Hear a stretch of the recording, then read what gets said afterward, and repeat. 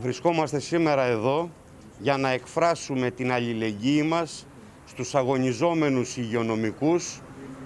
σε αυτή τη μέρα δράσης που προκήρυξε η ΟΕΝΓΕ και βέβαια μιας και πρόκειται και για την Παγκόσμια Μέρα της Υγείας.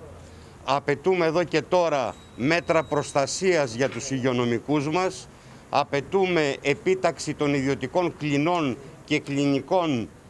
των ΜΕΘ